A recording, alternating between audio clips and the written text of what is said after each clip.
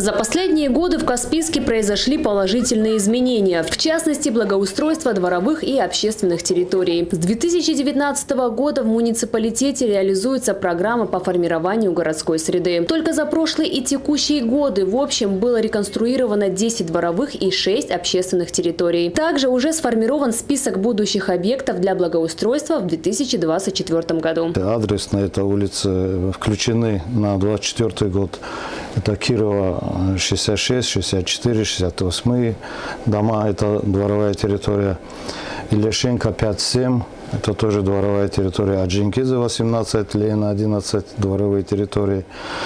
Лена 1725, Лена 2931. Адресный перечень э, общественных территорий, это, как я говорил ранее, это те э, общественные территории, которые прошли по рейтингу, по голосованию, которые наибольшее количество голосов были набраны э, на 24 год. Это аллея по, от улицы, значит, от автостанции до Халилова, благоустройство общественной территории. Это аллея Орджоникидзе, это от улицы Назарова до Байрамова, вот, ну, где в районе автостанции.